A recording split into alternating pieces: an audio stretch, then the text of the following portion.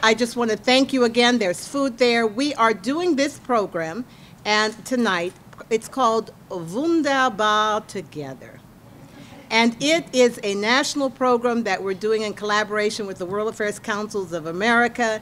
And um, we are just delighted that we have with us tonight, and I won't introduce him because he's had a full day and someone else will introduce him, but we're delighted to have the Consul General of the Federal Republic of Germany from New York, the New York Consulate, here with us tonight. And we're going to have a wonderful time engaging, questioning, talking, debating, and yes, you can disagree. All right? But with that, this is a night to celebrate Germany and Pennsylvania, as well as Germany and the United States. We have deep ties with Germany. And I'm going to tell you, you guys may be surprised, but you're not going to get any more avid fan of Germany than Joyce M. Davis. Because for eight years, I moderated a transatlantic forum of what? Young leaders. When I was young, I was one of the young leaders that interacted with young leaders in Germany, and it has left a lasting impression upon me. The many summers I spent in Germany and interacting and debating with German young people and, and actually youth from throughout uh, Europe. So, with that, part of what we want to do today is celebrate the German connection with uh, Pennsylvania, and there's no better organization that I would like to call forth than the Pennsylvania German Society. And we have the Vice President, Wayne Klein, here with us tonight, and he's going to come forward to let us know about Germany's influence in our, in our region. Please welcome him.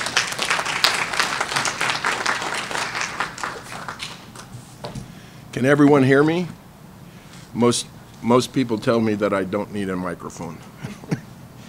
um, my name is Wayne Klein. I'm soon to be the Vice President of the Pennsylvania German Society. Uh, the President, Tom Gerhardt, uh, who's been with the Society for many years, uh, was unable to attend and asked me to sit in. So I'm going to give uh, a, a, brief overview of the Pennsylvania German Society and touch on the immigration, the early immigration of the Germans. Um, the Pennsylvania German Society was founded in uh, 1891, uh, approximately 200 years after the very first uh, immigration uh, wave came through in, in 1683. Um, that, that first wave settled in what is now Germantown, and it consisted of um, uh, between 1683 and 1776 uh, was a mixture of German, Swiss, and French Huguenots. As I said, the society was founded in 1891, um, about 200 years after the uh, first immigration, 1683, which settled in uh, roughly what the area that is now Germantown outside Philadelphia. Um, the first wave uh, between 1683 and roughly 1776 consisted of about uh, a, a, mixture of Germans, Swiss, uh, and French Huguenots the conditions in Germany at the time um, were such that, uh, particularly with the various religious groups, uh, there was a lot of discrimination and oppression.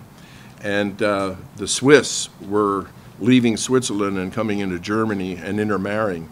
And the same with the French uh, Huguenots in the Alsace-Lorraine area.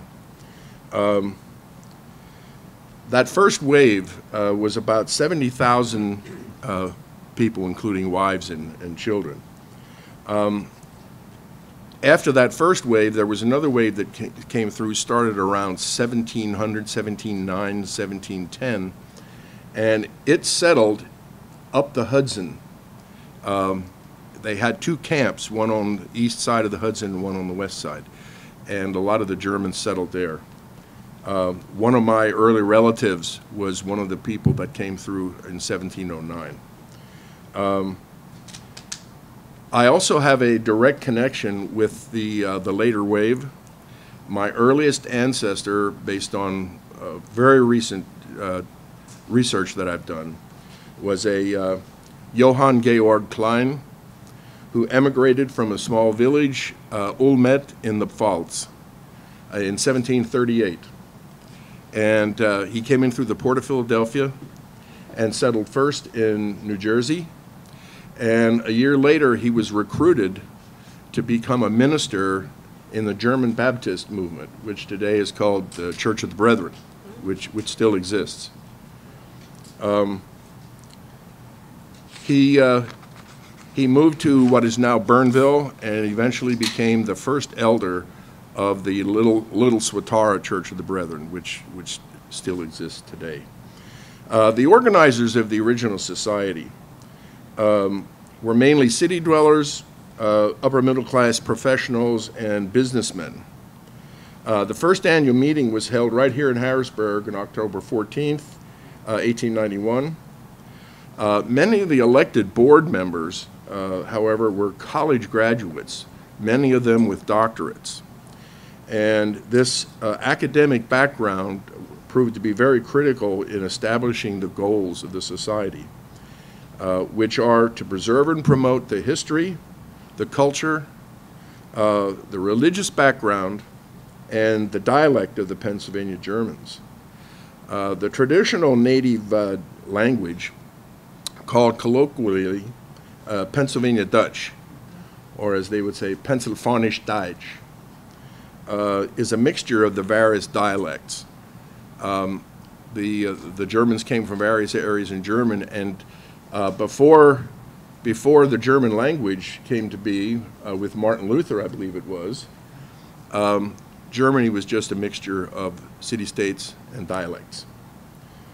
Um, uh, On another personal note, uh, one of my relatives, a Reverend John Jacob Klein, was an early uh, member who was, who was elected to the society in 1900. Uh, Today, the society has about 1,000 members in 44 U.S. states and three countries, Canada, Germany, and Austria. Uh, Roughly 6% of the American population today, which amounts to about 20 million people, has either paternal or maternal Pennsylvania Dutch ancestry, not just German, Pennsylvania Dutch. Um, I, I often get a kick out of when I hear this commercial on, uh, on television about the Ancestry.com. Please sign up and you'll be surprised at what your ancestry is. Um, no question for me. All four sides, German. Slam dunk. Um, The publication of journals and books uh, was also an important goal of the society. Uh, The minutes of its meetings and historical studies that were done of interest to its members were published as proceedings and uh, addresses, uh, more or less annually from 1891 until about 1966. Um, My my relative, uh, uh, Reverend Klein, was the pastor of the New Hanover Lutheran Church in Montgomery County. He wrote a history of that church, and that was published in the 1909 Volume 20 of the Society Proceedings. Um, Also, the Society has uh, commi- uh, published commissioned books on some aspect of Pennsylvania German culture every year since 1891.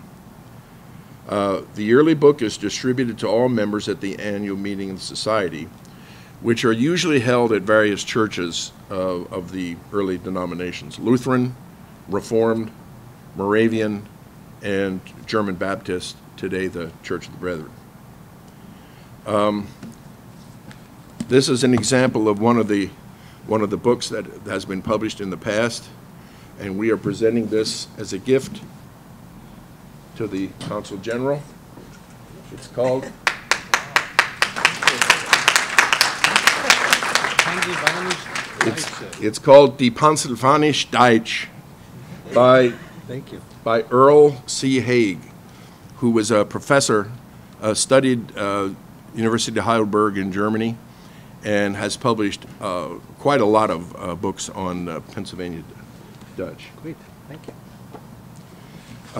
In addition, uh, the society also publishes a journal, Der Regenbogen, The Rainbow, and a newsletter, Es Elbedritsch. We don't have enough time for me to explain to you what, what an Elbedritsch is. No. Um, A couple of interesting notes. Um, There were three governors of Pennsylvania who have served as president of the Pennsylvania German Society. Samuel W. Pennypacker, Martin Grove Brumbaugh, who was uh, Church of the Brethren, and James Adams Beaver. And as a final note, um, President Dwight Eisenhower, although never having been president of the society, um, was purebred Pennsylvania Dutch, both sides of the family. Uh, one of the family's early homesteads was near the present town of Myerstown, about 30 miles east of here. Um, that's, that's pretty much it. That's enough. Very much. Thank you very much. You. Well, that was a wonderful history. I hope you now can go back and tell your, your colleagues that uh, there are very strong and enduring ties here. But that's the theme of our, of tonight. And it's ties that bind, strengthening the transatlantic partnership. That's, that's what we're about.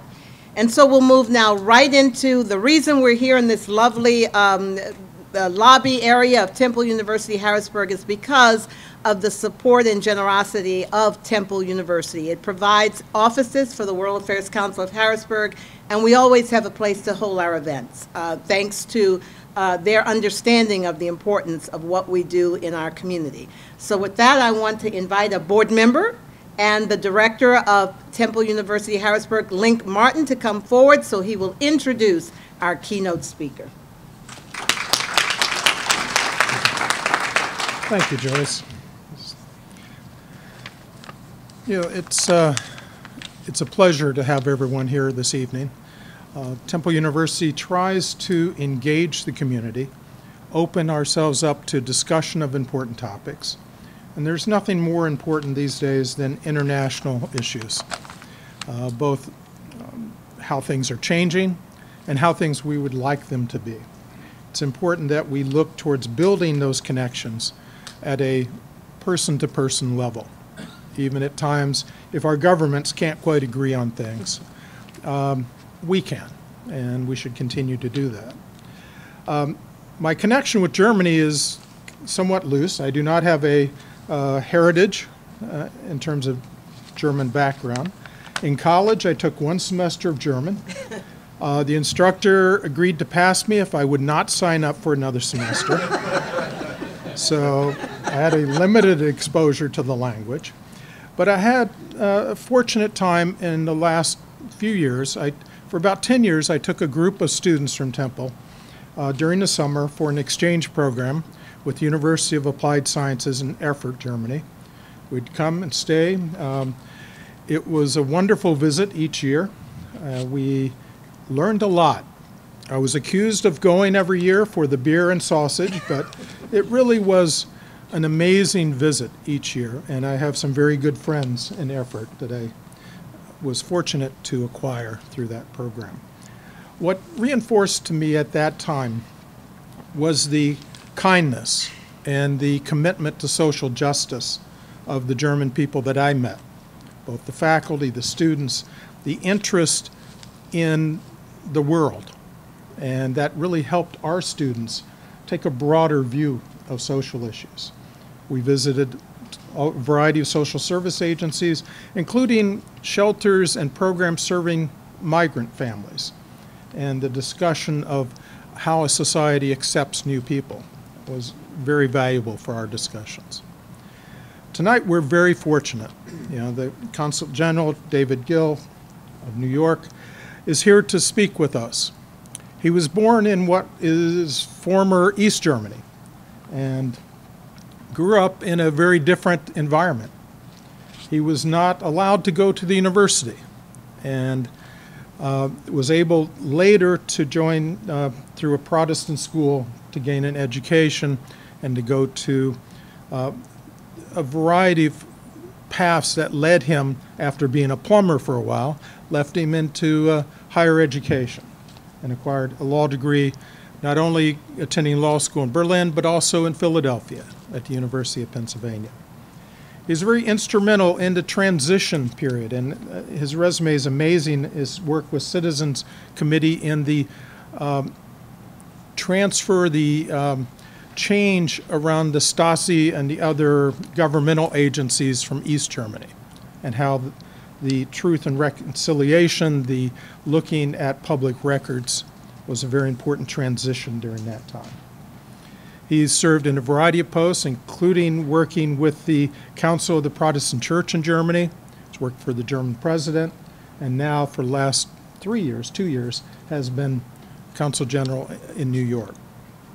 One of the things I noticed in his resume was receiving the Theodore Hess Medal in 1991, which I, I wasn't familiar with. And, but I looked it up, and it's, it's really a recognition of individuals who are committed to democracy, to social justice, and to civil society, and people who have helped promote that in Germany and internationally. So that, that's an amazing award that uh, we should understand. Uh, You did an internship, you were in the U.S. Congress uh, as an intern for a short period of time. Um, That didn't scare you away from being, coming back to the U.S., so that's good. But uh, um, we're very fortunate that Mr. Gill is here to speak with us and share his wealth of knowledge uh, with us this evening. So, Consul General Gill, welcome.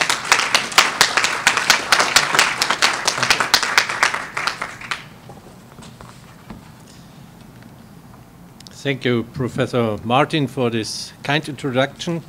Actually, you, when you go to Erfurt, to Thuringia, that's the part of Germany where you get the best Bratwurst. Thüringer Bratwurst, it's the best Bratwurst ever.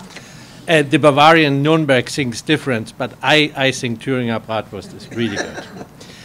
However, it's a great, great pleasure and honor and joy to be with you tonight, and I'm happy to be finally in Harrisburg. I'm uh, Consul General already for uh, two years in New York, and I didn't make it to Harrisburg yet. But now I'm here. I had a wonderful day already. Very impressed by this beautiful capital you have in this uh, beautiful city. Uh, we met together with my colleague Heiko Schwarz, met interesting people, interesting and interested in German American relationship.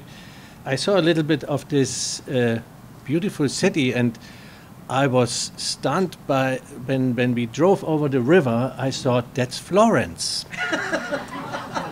I mean, you have a river, it's a little bigger than the Arno River. You have a lot of bridges, it's like in Venice, and you have a dome in the city.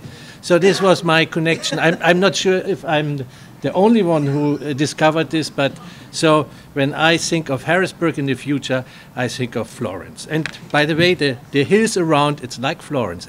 Uh, when you have been there, then you feel at home. Thank you, Joyce, for um, organizing this evening. And indeed, uh, this evening is part of a program the Foreign Ministry in Germany organized for the whole year. We call it the Deutschlandjahr, the year of German American friendship, and it has a title. You need a title somehow, Wunderbar Together. Yes, I think we are better off when we are together, and that's the message of this uh, Deutschlandjahr, this year of German American friendship. Um, we want to focus on our relationship, and we want to focus not only in the regions where much of um, exchange is going on anyway. I know Harrisburg belongs to this with the World Affairs Council, but we uh, go also in other states and we want to talk with the American people about uh, what is the foundation of our relationship and why it's so important that we stick together, Americans and Germans. And that is one reason why I'm here in uh, Harrisburg and why I like to travel around in my district. Uh, Pennsylvania is a um, model state for German American relationship. You just heard it in Wayne Klein's um, um, presentation how strong the ties to Germany are. Um, I traveled Pennsylvania already several times, and I try always to look at the German heritage in Pennsylvania, but also look in the present German representation here in this uh, country. A lot of German companies are active in in Pennsylvania. There are Pennsylvanian companies active in Germany. And so that's what I really like in my job um, traveling around my um, district, learning about America and talking about Germany. Because that's sometimes I'm asked, what are you doing as consul general? Uh, what is your job? Are you a small ambassador or are you just a branch office on, of the embassy in Washington? And I always say neither nor. I'm independent. I have my district. I, I want to foster German-American relationship. And if you want to describe it very briefly, what we do, me and my colleagues in the consulate in New York, uh, then there are three tasks we have. Of course, the consulate generals are general um, serving the Germans in this uh, um, in our district, and also those people who want to travel to Germany or to Europe and need some paper for this. So we issue passports and we issue visas. That's the ground foundation of each consul general in the world. But then there are two additional tasks we have. And if you want to describe it very briefly, it's explaining Germany and trying to understand America. Um, that's our job. And you can't do this from a nice office overlooking the East River in, uh, River in New York. You really have to travel and to talk to these people. And since I like to network, um, I like this job and I like to be here with you tonight. Um, today I I'm, I'm the one who uh, might explain something, but I also want to uh, engage with you and to listen to you what's important for you here in this region and what's important for you when you uh, uh talk and think about the German-American relationship. By the way, my district is, we have a lot of consul generals and consulate generals in, in, in America. My district is the great state of Pennsylvania, then New Jersey and the state of New York, plus an um, exotic addition. It's the island of Bermuda. Uh, this is also my district. So I have been there um, in January. It was very nice. Uh, even there are some Germans uh, who need some services, but usually uh, uh, honorary council uh, serves the Germans in Bermuda. I was asked to talk a little bit about the state of the transatlantic relationship. And when we talk about the transatlantic relationship, then we have to talk about the past. Because our transatlantic relationship relies very much on common experiences, good and not so good experiences, and a, um, very strong relationship which developed over the last now more than 70 years. When we talk about our relationship, then we talk um, about the time after the incredible or the greatest catastrophe you could imagine, World War II and the Holocaust, and the incredible development we experienced as Germans, as Europeans, but particularly as Germans, that the Americans after all this deaths of civilians, soldiers, and the European Jews, were willing to reach out for reconcilia reconciliation and even much more. The Americans helped us, the Germans, who brought so much um, atrocity in this world, to rebuild our country. And not only to rebuild this country, but also to help us to re enter the democratic, the free world. And um, I can assure you that the vast majority in Germany is well aware of uh, this history, and this is still and will be a strong foundation and a driving force for our relationship, this is, which is with all disagreements and hiccups we, we, we, we, we, we, we see in the moment is a very strong relationship. Yes, the Americans enabled us to become what I would say an anchor state of the Western world. Uh, since you taught us important values of freedom and democracy. And yes, that's also not forgotten. Forgotten.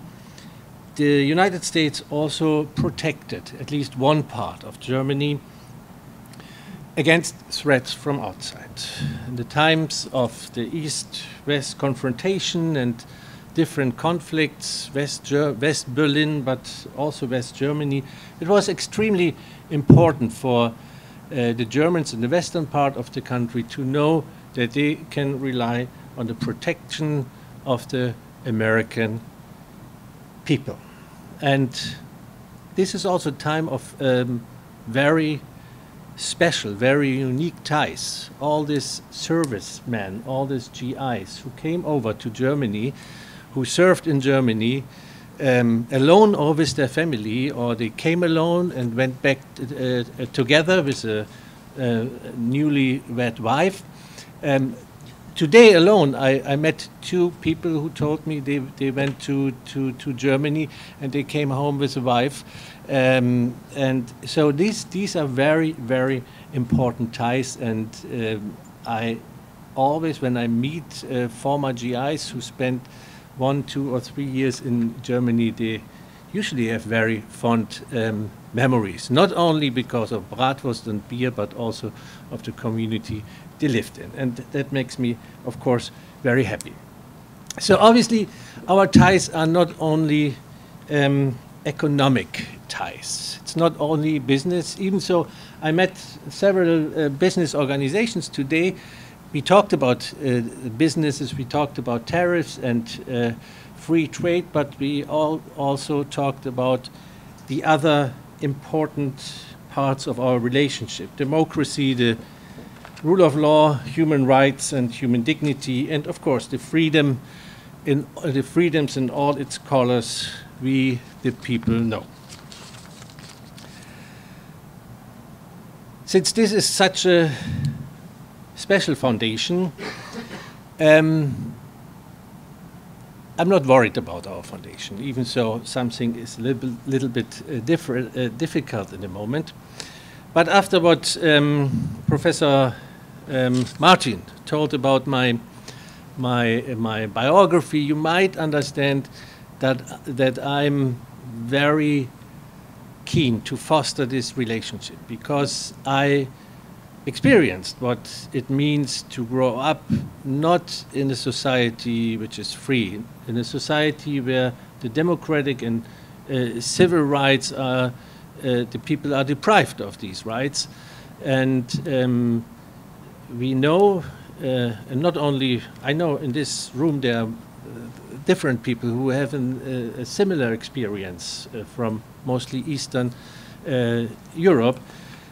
When you know that this is not just given, you might defend it much more, and that's why I see it also as my uh, job as a um, consul general, really to to werben, to to advocate um, these values and to advocate our relationship, which can be uh, a guarantee for uh, these values, um, because um, that was something I um, experienced when I served the former president of Germany, Joachim Gauck.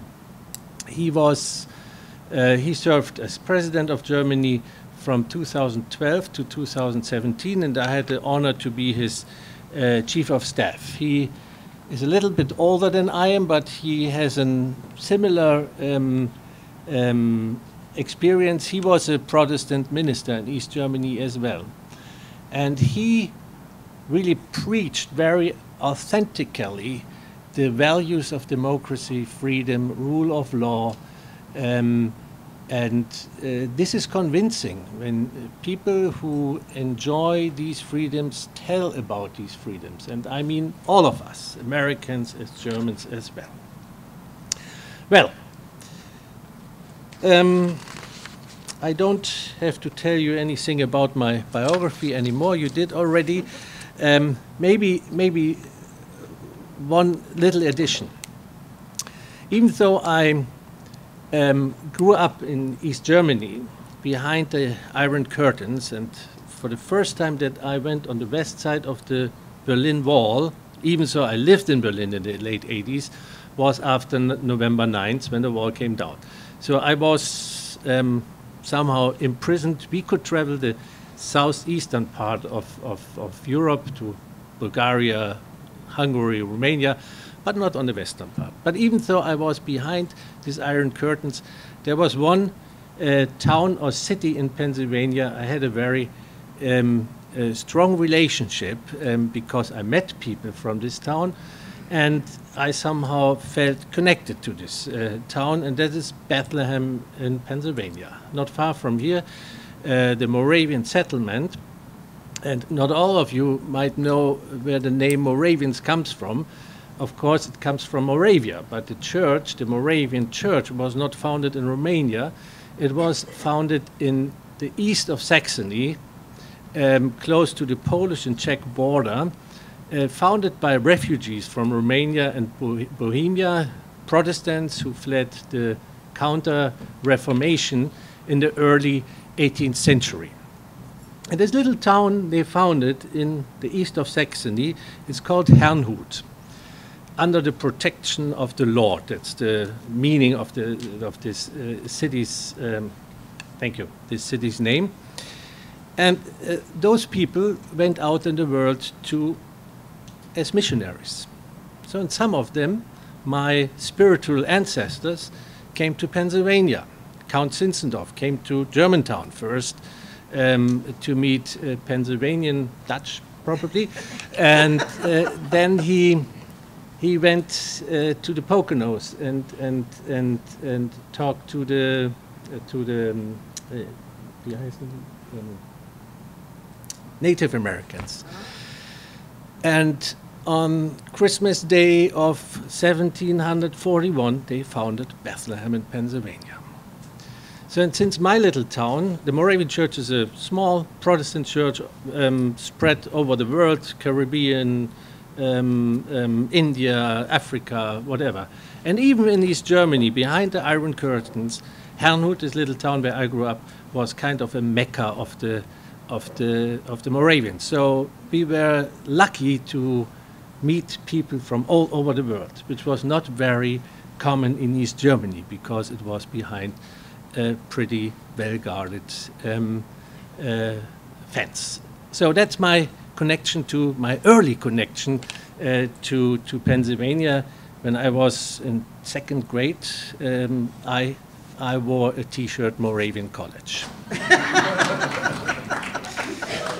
So, and of course, the other connection is Philadelphia. I loved to live in Philadelphia 20 years ago when I had the chance uh, to study in Philadelphia for one year at a law school, a UPenn law school. So, let's go back to the transatlantic relationship. Um, to state one thing very clear, the US is and will be the most important partner of Germany outside of the European Union. There is no question, and I can't imagine any different development than this. We are closed for historic reasons, but also for um, very current reasons and also for economic reasons. And when I talk about Germany, then you always have has you always have to hear uh, also Europe because particularly in the field of the economy, but also in other political fields, we are not just Germany, we are Europe. And we talked about this question of trade deals. Um, President Trump, Trump wants, with, uh, want to have, wants to have with, with Germany or Italy or France bilateral. No, the bilateral trade deals are American Europeans. There is no way around this. That's how we are organized in Europe, and that's why when I talk about Germany, there's a lot of Europe as well in, in this. So what I what I stated, the United States will always be our most important partner, and that's not different, um, even this times. But of course, our relationship have seen uh, better days that is not a, not a secret. And we work on this to make it better, to make it more smooth. And there are a lot of connections on the personal level, um, but also in negotiations, etc. So, what is so different?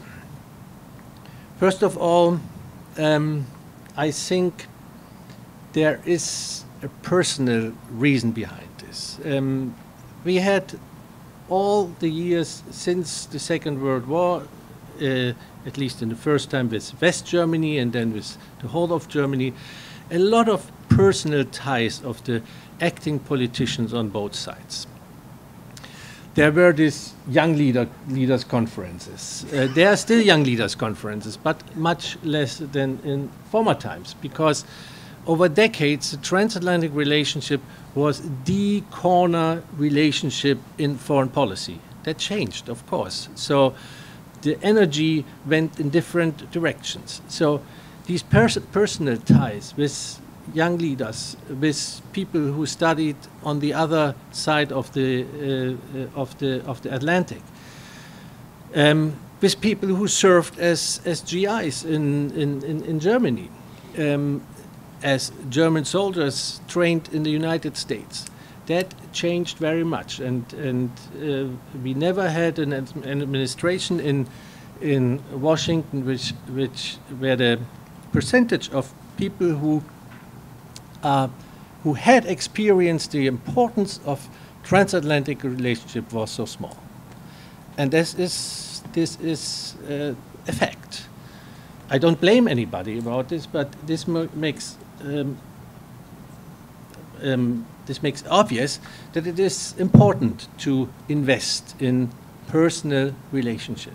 So every exchange program we have, we have to support students who come here, politicians who go to Germany, um, civil servants who who have exchange about environmental issues, about uh, whatever, infrastructure, whatever. Personal exchange is the most important foundation of good relationships. But of course, there's another um, change, and that is the very different approach of uh, to foreign policy of the two administrations in Washington and Berlin. President Trump and Secretary Pompeo followed their policy America first that's their good right when they think that's the right approach to polit foreign politics. Let them do. It's different from the German. So they put their national interest in the focus, and sometimes this is the only focus they have in foreign policy. There's this idea that alliances of states like the European Union are rather harmful for the members than helpful.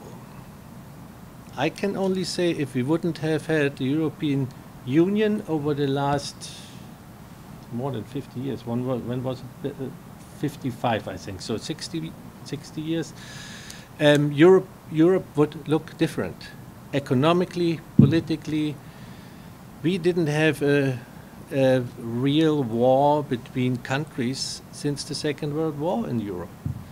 Um, beside all the economic problems, Europe is economically developed in a way nobody would have expected. Portugal, Greece, countries who, from their own, own uh, with their own uh, resources, wouldn't have been where they are uh, now. With all the problems, I know, and I don't want to say everything is fine with the European Union, but I'm convinced um, um, international alliances or alliances of states are mostly helpful. And of course, um, President Trump and Secretary Pompeo follow um, unilateral agenda. Partners are included when it seems helps, helpful for their own interests, but if it doesn't look helpful, then partners are sometimes let's say, neglected. The approach of the um, German foreign minister and the chancellor is a very different one. We advocate very clearly and strongly for multilateral cooperation and solution finding. Germany invests heavily also in international collaboration, not only in the European Union, but much further. Uh, in free trade and open borders, it's much as possible. And I have to admit, we still have to learn something in this field. Germany was rather um, hesitant to take the lead in foreign policy regarding our history. But um, now we are in the process where Germany is a very, um, it's a stronger, a strong country, and it enjoys a lot of trust. And we have to use this for the better, not only of our country. We also invest, invest in the United Nations with all its problems because we are convinced that the United Nations are would have been to invent if, if they wouldn't exist in the moment. With all the problems, with all the bias in certain countries, and um, you can question how they deal with Israel, how they deal with the human rights, but there is, at least there is a forum of all the countries in this world where you can speak with each other. Not all the results might be fit, and uh, if you are there, if you work there as a diplomat, it's not just enjoyable; it's frustrating in many things, but in many ways. But it's important to have this organization. And in a moment, um, Germany is even that's nothing special for you as American Americans, but for us it's German. As German it is. Uh, we are member of the Security Council for two years, and we want to uh, support um, um, a better protection of humanitarian aid workers. We support certain peace missions. Germany is responsible for sanctions regarding North Korea, Sudan, um, two or more, more countries or regions with a lot of conflicts. And what's also very important for the German foreign policy, it's uh, are the women's rights. The Chancellor, Chancellor Merkel, described the guideline for our foreign politics in Davos as follows. You need to factor in the interest of others when, you define, when we define our own national interests. And she said, global architecture can only work when all are ready to compromise. That's the guideline of our foreign policy. Having said all of this, of course, um, the relationship between our countries and the importance of the uh, transatlantic relationship, it changed not just two years ago. I talked about this briefly. There was already a shift when the world became more complex, when there were uh, developed more um, power centers than Europe and America. And that won't change. We won't have the good old times, but I think we are better off together. Let me just, I don't know how, did, how we are in time. Should I? Yeah, we're going to have questions, so go. Should I yeah. quickly, I wrap it up. But I, I, I, I want to address at least some um, obvious disagreements, just to mention them. Um, of course, one obvious disagreement is how to deal with Iran. We Germans and Europeans want to keep Iran in the JCPOA, JCPOA, the Joint Comprehensive Plan of Action, why do we want there? Because we want to prevent Iran from resuming its nuclear power. And there you have to give something. That's the ratio why this um, plan of action, this treaty, was worked out over, over almost a decade. And uh, that's why all those uh, who were involved uh, were so happy that it was possible to do. Yes, we know nothing less and nothing more we can achieve with this, uh, this treaty, only to prevent the Iran from resuming its nuclear power. It's not the solution for all problems. Of course, we see in Germany the harmful role Iran plays in the Middle East, and our foreign minister just uh, went to Tehran this weekend, unfortunately not very successful in pushing the Iran to stick to what they agreed to. And it's not so easy to push somebody what he agreed to when the other side can deliver the way it was planned to. The view of the White House and the State Department is a different one. Um, they view Iran's destructive and dangerous behavior in the region. They see the missile program and the sunset, sunset clause as a much bigger risk and withdrew from the agreement. You know about all of this? And now we are in a harsh debate. What does it mean? Um, um, not only does one part of the treaty uh, withdraw, withdrew, but it also expects that the others who are still convinced that this treaty is better than nothing also withdraw and, um, and reinvent sanctions. And that's a new quality also of relationship between our countries, that Washington tells Europe, you have to do that, or we, have, we sanction you, not only the Iran, but you. Second issue, the NATO. We are committed, the Americans, even so in the beginning one could um, uh, could get an impression that um, the president wasn't so sure that NATO is really the alliance for the future. I think that's very clear. But we have some disagreements of different approaches to the burden sharing. President um, Trump had a point when he says the Europeans, the Germans, have to do more for the protection and for supporting uh, protection of the Western world and for supporting NATO. Um, and yes, it is difficult to explain that when the NATO uh, states agreed to um, use, they didn't, they didn't, I did they agree about a year? No, they just uh, agreed about the two percent of the GDP um, should be should be used for uh, for um, for the for the defense budget. We are, to be open and frank, far away from that.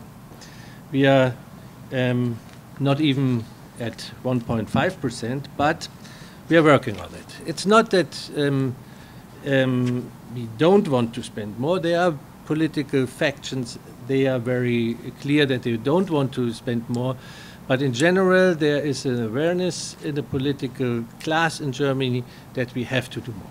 This was a discussion that started already um, five years ago. My president, our president, my president, gave important impulse to this uh, political discussion at the Munich uh, Security Conference in 2014 that we have to do more, that we have to be um, faster and um, more, let's say, resolute. What's the resolute? Resolute. yes, thank you.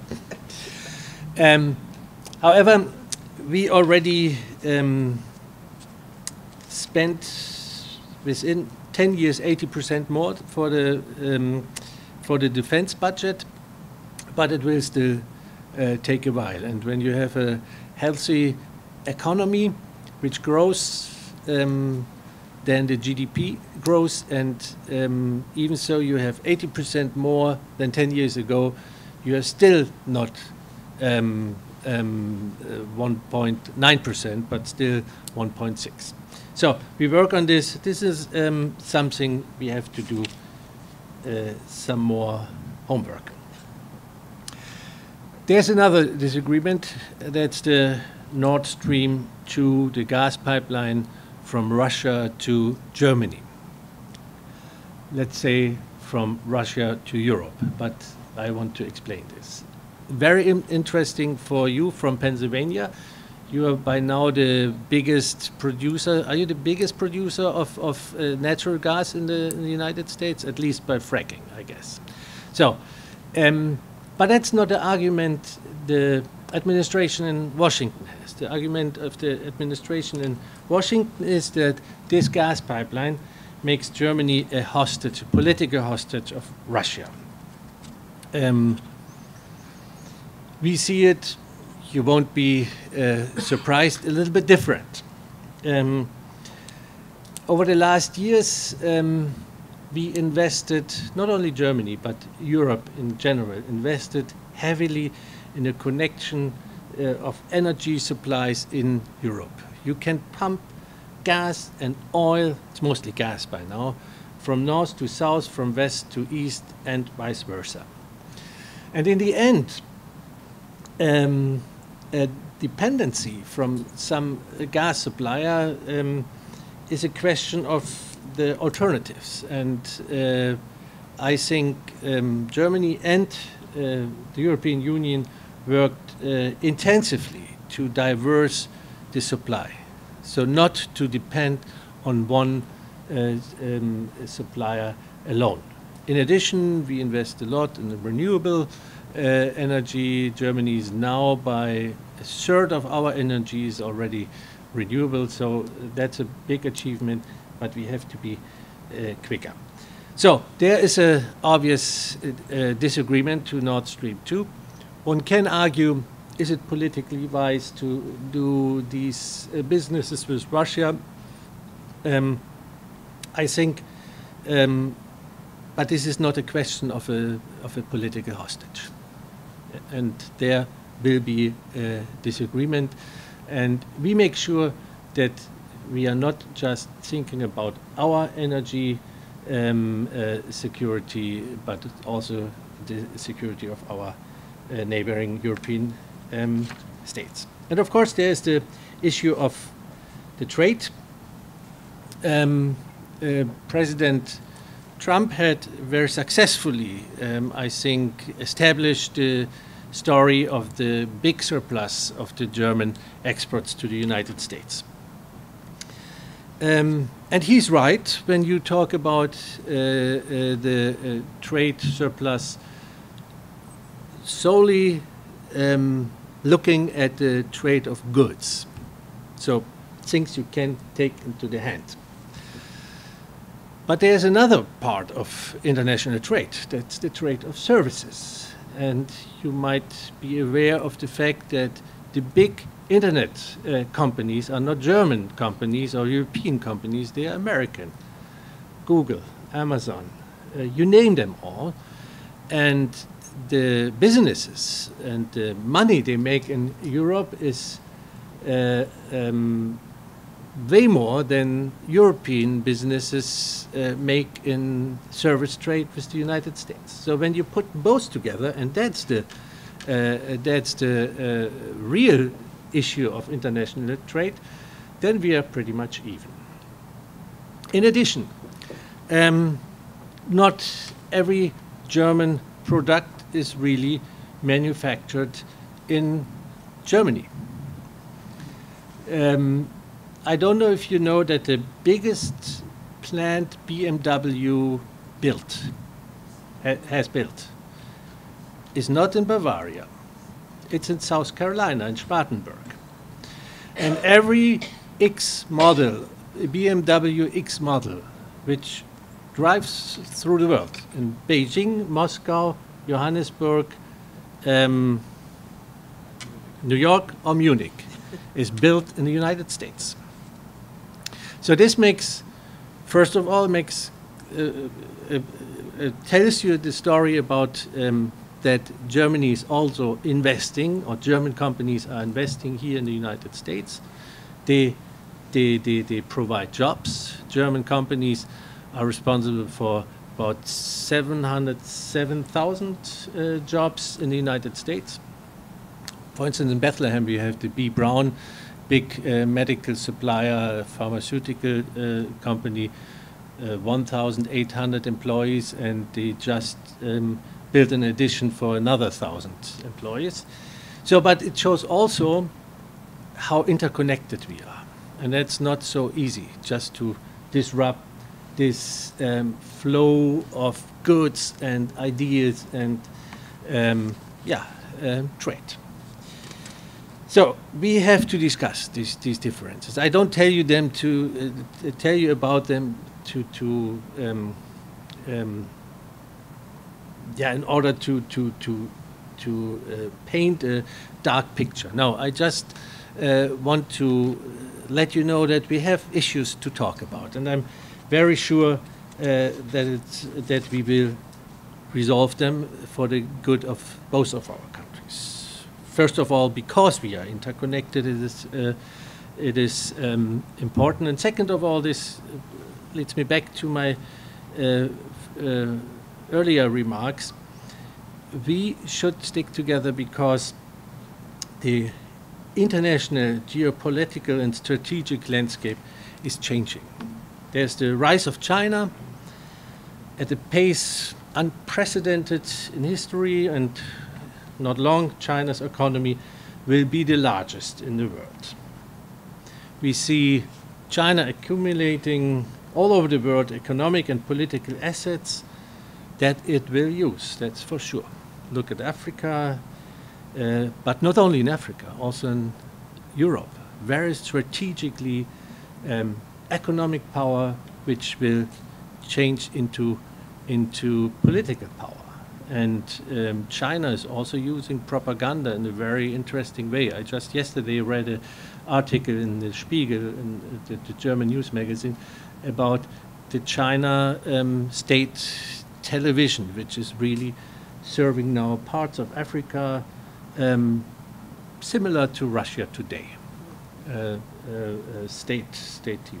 So we have Russia returning as a military power using means of asymmetric cyber warfare for geopolitical gains. And of course, we still face the Islamist militancy.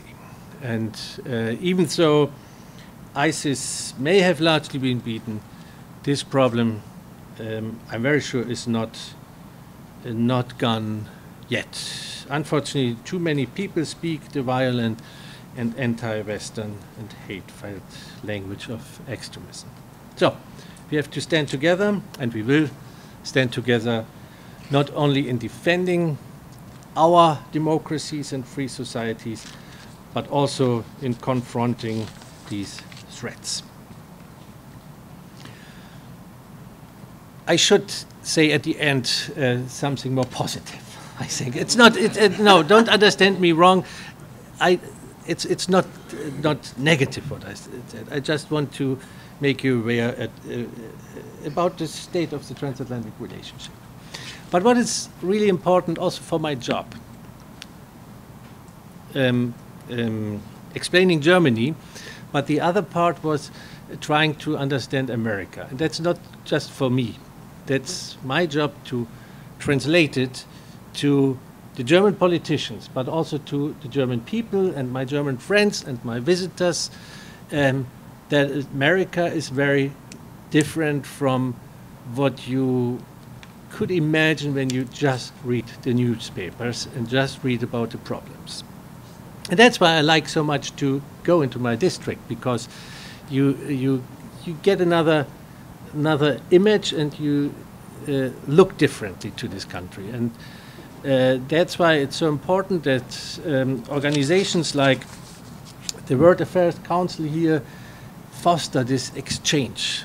We have to meet each other. We have to look deeper to the other country to get our own idea and then we will see there's so much there are so much so many resources so much sympathy so much interest that we shouldn't be worried about our relationship. But we have to invest it and we have to be interested in each other. But that's what my experience is. When i travel around there is a lot of um, interest and sympathy and that makes me very um, optimistic. Thank you so much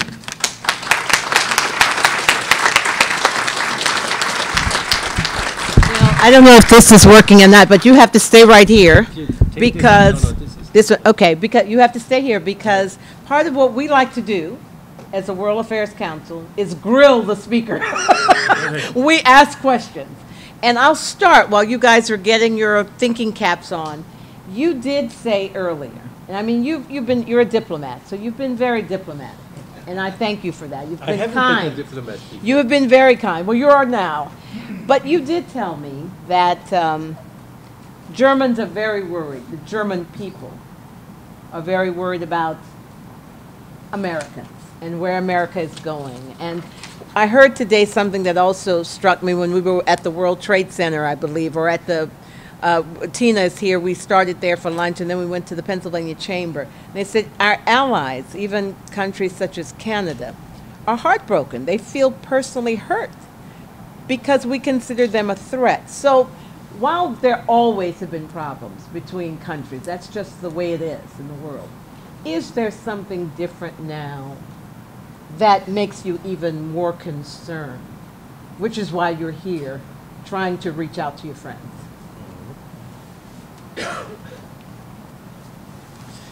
So what is interesting?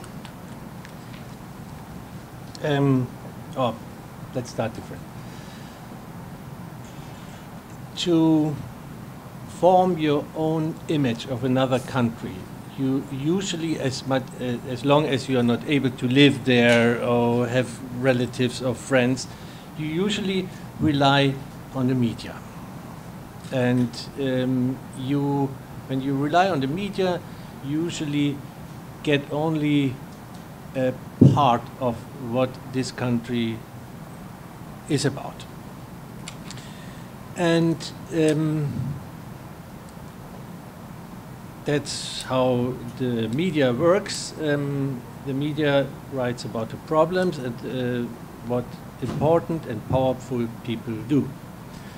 And so when you look at the image the United States had over the last decades, it also uh, it always mirrors the um, the fondness of the Germans of the current president.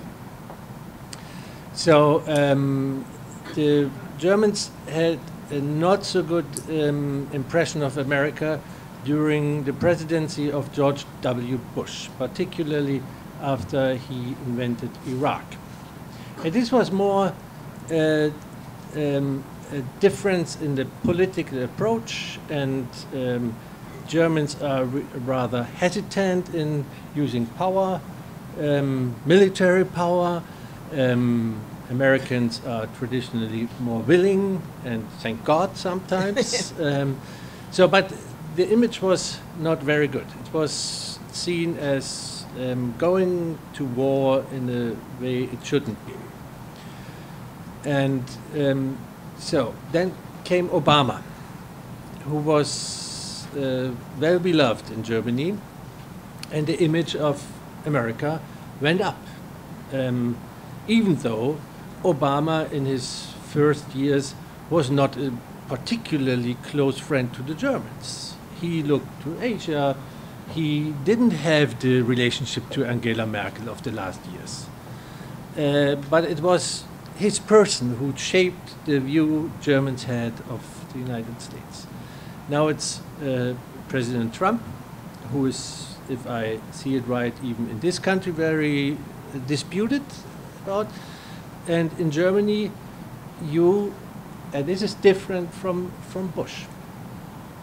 I mean, he talked about the new Europe and the old Europe, yes, but it was not this direct expectations or even threats against partners, which makes the difference and the view people have of America difference. Even though um, they didn't change so much so far, not even in trade.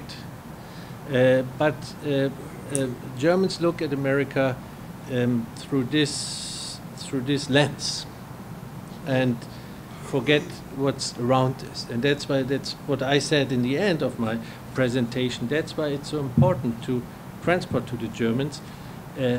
The tariffs is not really that was the, what the Americans um, um, care about so much in their daily life, and not even not even so much also in the relationship to Germany.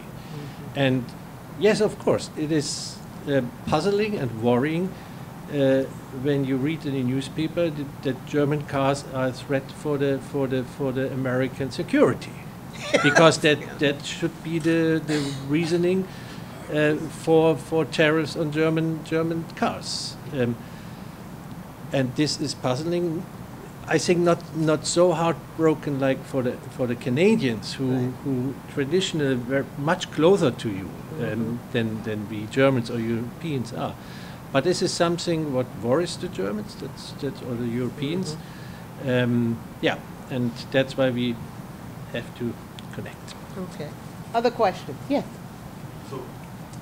with that. So, uh, EU and uh, US started like a, decade and a half ago or so the transatlantic uh, trade and investment partnership discussions, which uh, was very close. It was a, like a decade and a half talks and was going to be the biggest uh, trade partnership of the world.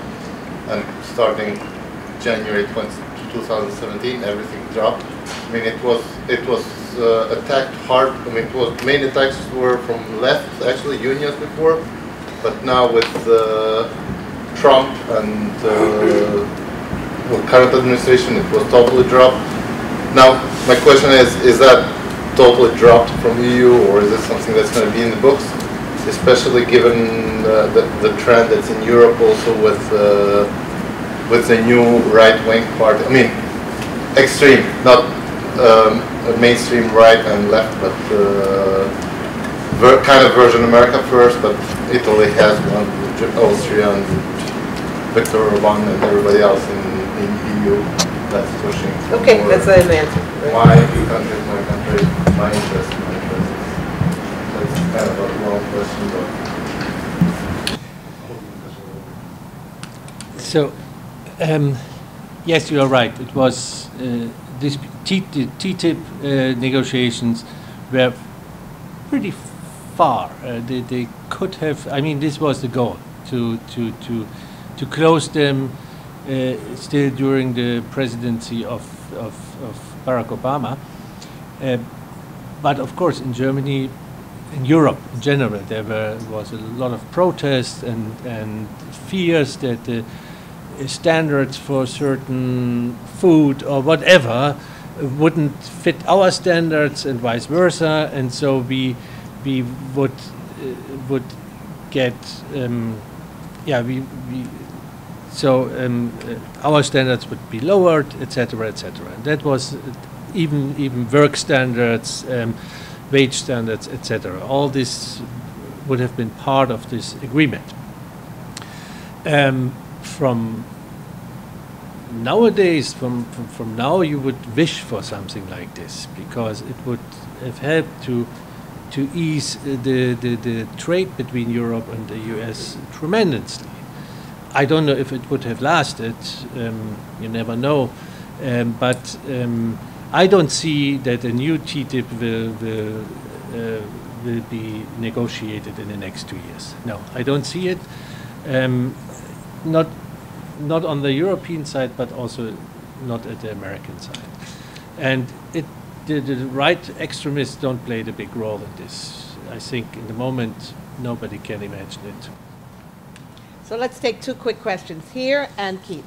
Uh, This is a sophisticated group, this is a well-traveled group. This is a This is sophisticated probably a well, a well-heeled group uh, in comparison to other people out in the street here. Um, And they have had a different kind of experience with education than what students are having in this country now. And I can't imagine what the German students are having in this country, in their country, because I don't know enough about education. What could be done, in your view, I mean, and it's got to be very far down into second grade or something like that to help students understand different cultures. What can be done to help? is the different experience? Well, I mean. Right now, I think that American students, so the experts say, have a very uh, poor understanding of world affairs. that there are people, of course, there are people in some schools that are extremely well educated. They're well educated in literature and in foreign I- I- languages, I but there understand, is the mass of people have very little knowledge of the world outside of their own backyard, so to speak. And what about German students? Can it be said the same thing? Are, are most of the German students not as well educated as you would like them to be in world affairs? Um, What, I was wondering if you could talk about some of the recent success, relative success of the AFD in Germany, and uh, whether or not you see any parallels between those groups and, and what has happened in the United States, or do you see these as totally disconnected political uh, issues? And the second one, if you, if you want to go for it, is you, you started out with the foundation and what the United States has taught Germany. And I wanted to turn that around, and you, you talked about reconciliation, uh, I guess both between East and West Germany and also Germany facing its, uh, its Second World War past. And I was wondering if you could talk a little bit about that process and what the United States could learn from Germany's confrontation with its past, because um, I'm pretty convinced that the United States has historical amnesia as far as the racism that has occurred in our country. um, um, who I am uh, to teach you anything, and I'm not an expert in education. I think it's um, in some ways very natural that a bigger country uh, has a lot of issue within the country than smaller countries. I mean, the Dutch all speak English and German and Dutch and uh, French because they are so small. They have to look around. Americans don't have to look around so much. Uh, having said this, uh, I think it's better for your own life when you know more what's going around the world, and maybe from Pennsylvania you can also look to to to, to California or whatever. Um, so the German school system is not perfect, um, and uh, not in every school you learn a lot, of, a lot of about uh, global politics. But uh, what is, I think, different uh, to the United States is that uh, learning a language is part in elementary school.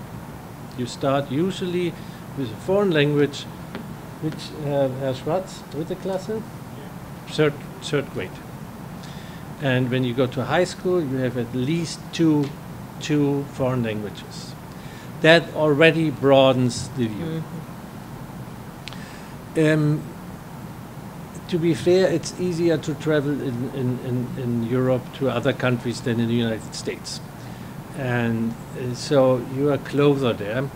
I don't know, I, I, I don't know what it is. We don't have these huge differences between private schools and public schools. We have public schools with problems, particularly in neighborhoods where you have a high percentage of, of mi migrants, where the German language is a problem in school.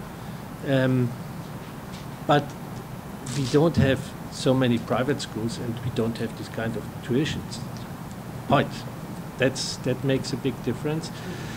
Um, but if you ask my mother, she would say the youth of today doesn't know what we knew. uh, of course, there is there are other other things they learn in school. But yes, educational system is is always an issue, and that's why every government which comes new in, in the government wants to change everything, which is not very wise, I think. Um, and I'm, I'm not sure that it's really, really. I shouldn't say this. I'm a diplomat, and I don't know why I say this, but it's also uh, difficult if you. I, I was told in. I, I went to Berks County, and they told me they have. Is it possible? 15 school districts, and each is governed by another, Yeah. in- including the curricula, Yeah, oh yeah. There's no unified curriculum, that's the problem. and that's Yeah. difficult. But I don't know if this is the reason. And of course, um, education is everything. Not everything, but it makes a big difference. And I, I, I learned today that uh, if I buy Hershey chocolate, then people in Harrisburg will be uh, schooled. so, good. The other, um, yes, I didn't talk about the AFD. Um, that's a new development, not so new anymore, but um, it took almost 70 years until uh, right-wing, it's not a neo-fascist uh, party, a right-wing, right populist party with some members who are, who are extremists, uh, entered the parliament on the federal level. We had on the state level, even West Germany in the 80s, once the so-called Republic, Republicans, um, they disappeared again. We had the NPD in state state um, uh, state parliaments, which, which mostly disappeared. But now we have the AFD, and it looks like that the AFD, the so-called alternative for Germany, will uh, stay in politics. Um, that is new, indeed, and um, uh, it's a challenge for the democratic parties, but obviously um, they were not able to convince all the um, uh, voters to to pick one of the democratic parties, which have a range from the conservative or uh, kind of conservative CDU to the left party, the post-communists uh, from East Germany, who are more social democratic than they, than they were in the past. Um, this party actually started as an anti-Euro party. It was not a right extremist party or right populist party. It was anti-Euro. They, they, they challenged the, the, the, the vice decision to have a euro in Germany and uh, what it means for the um, for the economies of the of the member states. However, we have them now, and now it's a real right-wing party, populist, against migration, um, that's their main topic. They don't have many other topics. It's always migration which is responsible for the problems in this country, from uh, from um, um, from unemployment to uh, social to, to, to criminality, etc. Uh, the good thing is they had 13 percent. Um, uh, in the last uh, national election in 2014.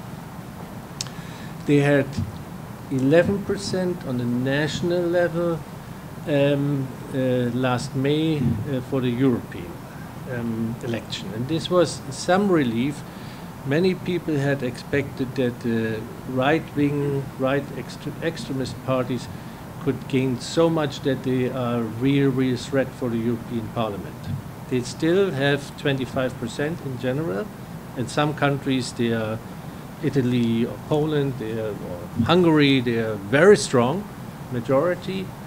Um, but in general, on the European level, um, it's not a rise, and in Germany, also not, at least on a national level. We see a phenomenon that 30 years after the wall came down, we have a very divided uh, country regarding the political affiliation of the voters. In East Germany, particularly in the region where I grew up, in the southeast of Saxony, but also in Thuringia and Brandenburg, uh, the AFD is the strongest party. They don't have power because we have a, um, a um, Verhältniswahlrecht. Um, you how do you call Verhältniswahlrecht? Um, so, in the US, the winner takes all. You have either a Republican or a, a Democratic uh, president and administration. In Germany, uh, you get a share you, you got as a party. It's a proportional voting system. Mm -hmm. And so, even though um, the, the, the AFD is the strongest party with a third of the votes, the other two thirds of the votes go to other parties. And that's why in Germany you always have to build coalitions. In the moment it's the CDU and the SPD in, in, on the federal level, but you can also have the CDU with the liberals or the Social Democrats with the Greens or the CDU even with the Greens in Hessen. And this is also a good thing for the political atmosphere. One legislature um, this is your political opponent. Next four years, it could be your partner, and that also shapes the way you act with each other. I come from the AFD to this. I'm sorry. I'm you, you, you, you stop me. So, but the AFD in East Germany is uh, strong for several reasons. Um, there, first of all, 40 years of communism um, changed the society dramatically. The whole societal fabric changed. So um, before Hitler came to power, we had a democracy in Germany. We had a Weimar Republic. We had so we had a social democratic president. We had parties. We had unions. We had uh, we had organizations who organized the society, which were rebuilt um, in West Germany with the help of the Americans after uh, after the Second World War, and in East Germany, the opposite was the case.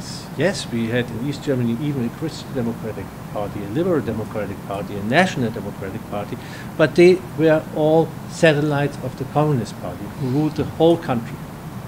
So there was no free party, there was no free organization of, uh, of civil society, nothing. And the only part of the society which was kind of free and a, a safe haven for people who saw different were the churches. But when you were engaged with the church, you paid a high price. Like me, I wasn't even allowed to go to high school for the reason that my father was a Protestant minister. So all these organizations which shape a society, a community, were, were gone. There were no parties, there were, the churches were diminished, people weren't, weren't willing to pay this high price to join the church. So, and in this way, um, the society didn't regenerate. So we don't have strong parties. Um, we don't have strong churches. We, uh, we don't have these organizations which um, look for the societal needs. And that leads people to look for alternatives, for easy solutions. Plus, they experienced, experienced many losses also. They, they gained freedom, but of course they, they experienced losses after the wall came down. The whole economy broke down. The young people left. So when, when I left school, my, my, my, my, my classmates went for apprenticeship in the coal mine, in the power plant, in the textile industry, and the car manufacturer. The coal mine is a big lake now. The power plant was uh, um, demolished in the early 90s. It was, it was not economically um, reasonable to, to keep it, but it was gone. Textile industry was gone in, in, in, in a heartbeat, and, and, and car manufacturing is history since 91.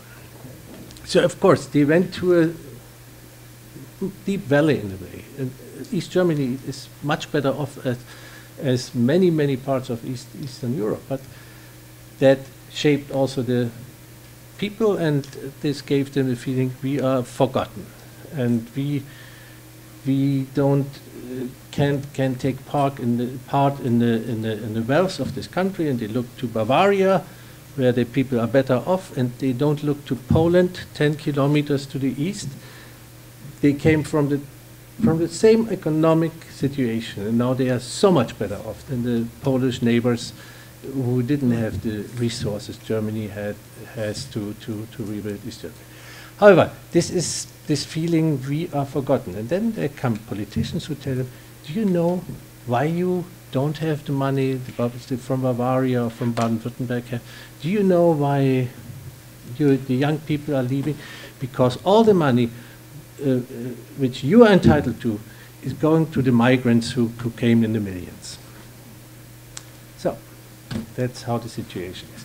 That doesn't, that doesn't um, um, um, um, entschuldigen, excuse um, uh, this political voting, but it explains it. Isn't So- it the same story all over the world, even in this country? You find a scapegoat for the problems that exist, and But, I mean, there was one other quick thing that you wanted answered. We'll do that one quick thing, I- and then we'll have to cut it I, off. I, I, I, I I don't know if I really can teach you um, how to organize a reconciliation. The first thing and the most important thing is transparency. When we, when we, um, I was the, yeah, I was the, the head of the Citizens Committee, which took over the Stasi headquarters in Berlin in January 1990. And we had a long discussion what to do with the files. Um, we went in because uh, we said, first of all, the Stasi should stop its work. Second of all, they shouldn't destroy their evidence. But then we discussed, should we really open these files? Shouldn't we uh, destroy them? That's so much societal um, dynamite. It's so, so dangerous when, when one person knows who spied on them, who destroyed his or her career, etc., etc. This will, this will disrupt the society. This was the discussion we had in early 1990. By the way, together with Stasi officers and generals, so they tried to influence us. Um, and then we we didn't destroy the files. Parts were destroyed, but that's another question, but not not really. Uh, but we were not sure what to do, and what made clear that we need these files and transparency was the first and only free election we had in East Germany in March 1990. There was this one person, a former lawyer, very involved in the churches, very active, um, uh, seen already as the new prime minister of, of, of uh, East Germany. And um, then there was this, this, this Gerücht, this, the rumor that he might have um, uh, worked together with the Stasi as an informant. And we said, okay, we don't want to have former Stasi uh, informants in the highest office of our country, people who influenced um, um, uh, biographies, who maybe help to put people in, in jail, whatever. And we said, okay, let's let's look it up. And indeed, he was not only a spy; he was installed by the Stasi from the beginning on. And that made very clear um, we really have to face the, the, the reality, also in the interest of the victims. We can't just, just cover it up and uh, go on. We have to uh, um, provide transparency. And so the, the files were used for um, checks of politicians and civil servants. Uh, it was not a criminal investigation, it was more an act of political hygiene to say, no, those people who influenced, who, who, who destroyed biographies, who, who, who cooperated with this regime, shouldn't be in political office again. And um, yeah, it was maybe in a way also a lecture we, we got already from the experience of Germany after the Second World War. I'm very sure that, uh, no, no, we discussed it also, that um, we should start immediately um, uh, with this process of not so much reconciliation, but transparency and openness. And so, uh, yeah, transparency is one thing, and and there's no other um, Eastern European country which did it immediately. Many of them came later with this issue, and many of them told us we should have done it immediately. We should have invested for a new beginning also. Well, with that, I'm afraid I have to cut it off, but please join me in thanking, we could talk all night, thanking Consul General David Gill and Heiko. Before we leave, please, we have presentations to make. Everyone knows who are doing the presentations, so come up now to do your presentations. And as they're coming up, I would ask my board members to stand so that we could all thank you for the work that you're doing with the World Affairs Council of Harrisburg, Kalpana. Thank you all. Thank you for being a part. Lindsay, very good. Would you come up now and, and do the presentations? Link, Consul General? Oh, presentation for me. Yes, for I, I it as a next presentation. I know you lived in Philadelphia briefly. Uh, You weren't able to be a Temple Owl, No. but uh, here's your Temple Owl. Thank you, wonderful. Wonderful. Thank you very Thanks so much. Thank you. Wow, that's You cool. have something, yes. I'm sorry, but I forgot to give you. It's just something really small for, for both you and for Heiko. Oh. That's very nice. For a rainy day. For a rainy day. For a rainy day. Thank you. Elise. Thank you, Tina. You're rich, you see. It's Christmas.